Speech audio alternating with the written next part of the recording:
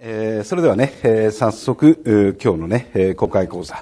えー改正対応合格点を取るための学習戦略、F コン D コン、えー手口分析、えー出題予想のですね、えー書式年間学習スケジュールというふうなことで、えーお話をおさせていただきたいと思います。えー今日の講座のですね、えー趣旨目的、えーまず、えーこれをですね、えーお話ししようと思うんですけれども、えー今年のように、えー択一が厳しい、えーそういう試験の時にはですね、やっぱり記述式、えー書式がですね、大いに助けになるところでありまして、えーこの記述式の試験に関してね、えー新しい学習方法、えー新しい学習戦略、えーこれを皆さんに提案してですね第一段階の、えー基準点突破、えーその、えー基礎学習に相当する部分。それと第二段階の、えー合格点への底上げですよね。発展学習、えーそこに相当する学習。えー年間通して、えー全体に、えー記述式試験の、えー勉強を、えーまあ、サポートしようとする、えーそういうのがですね、えー昼間記述コースというふうなことになるわけなんですがそれを踏まえて、えー今日の講座の、えー趣旨目的でありましてまず、えー一つねえー一つ目は学習方法の確認なんですけれども、えーこれはこういうことなんですね。受験勉強ってそもそも、えーどうい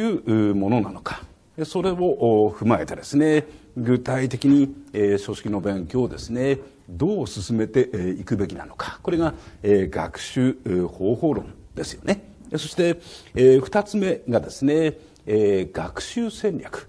要するに1年間をどんなふうに、えー区分して、えーどの時期に一体何を勉強すべきなのか、ね。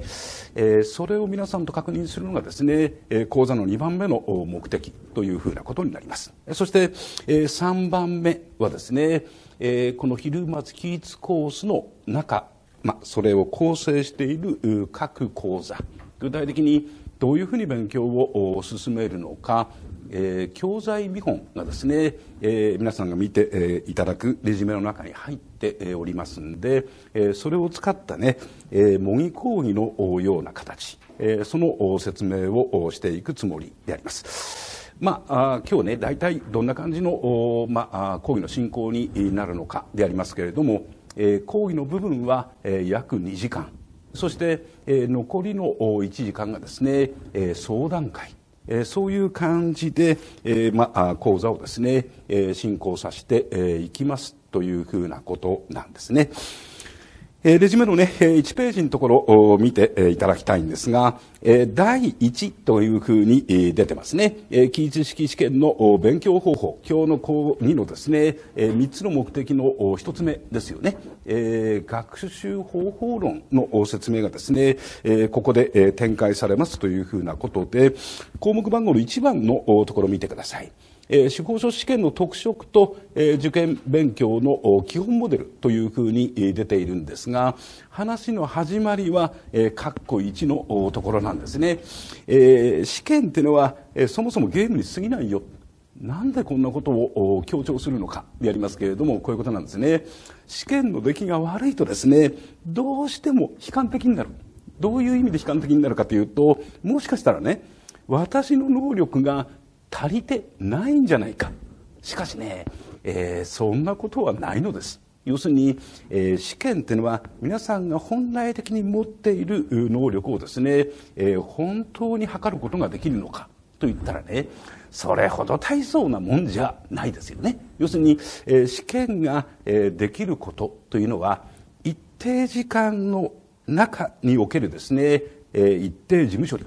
それに過ぎない。ですから、えー試験委員が作ったゲームというのがですね、えー試験の一つの、えー見方なんですと、えーこういう話になる。逆に言うとそんなふうに受験勉強を捉えるとしたらですね、えーどうなるかといったらまず受験勉強の第一歩はですね、えー皆さんがこれから取り組もうとしている司法書士の試験ね。それが一体どういう内容のゲームなのか。そして、えゲームですから必ず攻略法があるわけで、えその攻略法は一体何なのか。ね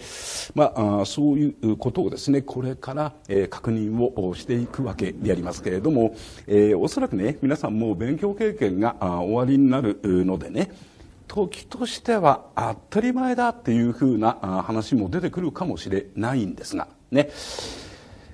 勉強を始めるにあたって根本的にですね、えー、考え直してみる